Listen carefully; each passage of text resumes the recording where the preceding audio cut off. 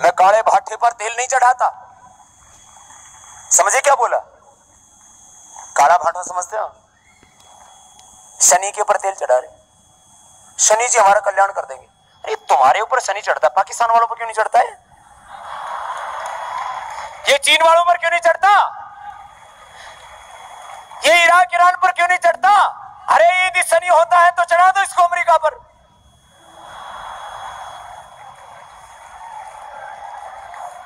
शनि, केतु, राहु, भूत, प्रेत, सब तुम पर ही चढ़ते हैं। यदि भूत, प्रेत होते हैं तो लगा दो हिंदुस्तान और पाकिस्तान की बॉर्डर पर। हटाया बीएसएफ को वहाँ से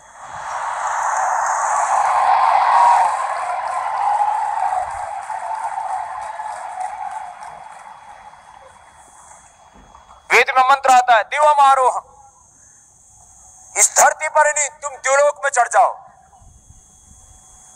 ऊपर शनि कैसे चढ़ जाएगा? धरती से लाखों किलोमीटर दूर। पढ़ते हो कुछ? लाखों किलोमीटर दूर शनि, धरती से कई गुना बड़ा। तेरे ऊपर चढ़ेगा, तेरी चटनी निकल जाएगी। शनि चढ़ा पड़ा है इसके ऊपर। पढ़ते हैं साइंस और बात करते हैं नॉन साइंटिफिक ये जवान आजकल के डॉक्टर साइंटिस्ट मैं इसलिए इस बात को कहता हूँ, तुम हिंदुस्तान की धरती पर पैदा हुए हो। किसी ढोंग में मत फंसना। किसी पाखंड में मत फंसना। किसी बाबा के बहकावे में भी मत आना।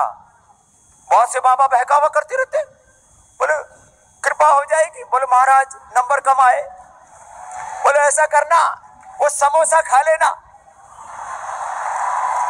बोले, महाराज, समोसा तो खाया था, कृपा नहीं हुई। बोले, कैसे खाया था? बोले, हरी चटनी के साथ खाया तो बोले, इस बार लाल चटनी के साथ खा लेना। बहुतों ने कृपा का कारोबार कर रखा है भाई देखो, मैंने कहा, जो भी सोचो। भाई, यदि शनि, राहु, केतु, भूत, प्रेत चढ़ते हैं तो सब पर चढ़ने चाहिए।